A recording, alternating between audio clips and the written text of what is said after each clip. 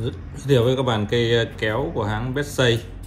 À, cây này có mã hàng là D48A D48 gạch 2 xin lỗi bạn black vì nó được màu nó màu đen nó còn có loại màu trắng nữa.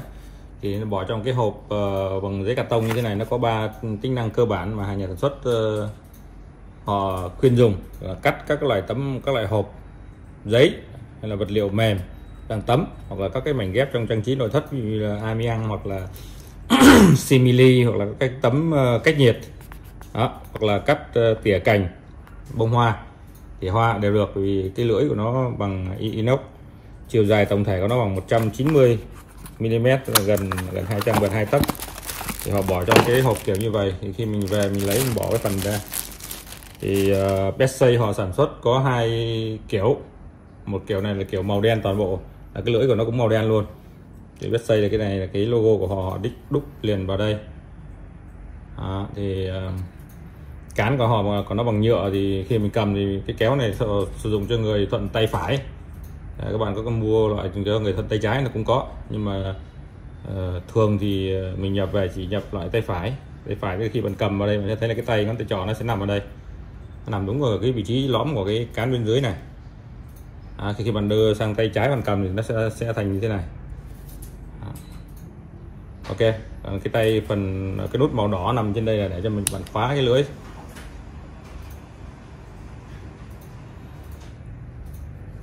À, lò xo này là lò xo dạng cuộn và nó rất là, là, là khỏe rất cứng rất cứng.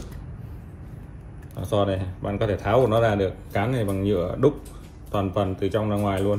Cái phần chỗ này là phần chỗ ngáng cái tay cái lưỡi của cái kéo này dài à, lưỡi của kéo dài 38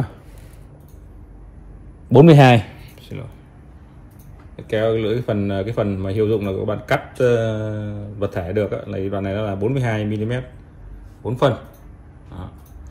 Uh, phủ cái lớp màu đen này màu đen này là cái lớp uh, điện hóa nhôm oxit những cái phần này nó rất là cứng. Nó tạo cho cái ờ, lưỡi inox nó thêm phần cứng. Bằng inox cho bạn phủ lớp điện hóa bên ngoài như thế này. Họ dạng oxit đấy và ờ, trong tài liệu kỹ thuật các bạn dở ra nó sẽ là ờ, anode sử dụng bằng phương pháp điện hóa để nó tôi cứng cái bề mặt này nó cứng như kim cương vậy. À, thì độ cứng của cái phần bề mặt này nó khoảng cỡ 56 HCRC bề mặt thôi. Thì khi các bạn sử dụng nếu bạn có thể mài cái, cái phần lưỡi này được trong một thời gian dài các bạn mài một phần phần lưỡi lưỡi bên dưới này thôi. Còn lưỡi bên trên này mình sẽ không mài. Giá tiền của cây này là 550 ngàn. Trọng lượng của nó khoảng 150 ờ, gram à, ờ, xin lỗi một khoảng 110 gram tức là khoảng một lạng lạng mốt hơn một lạng một tí xíu.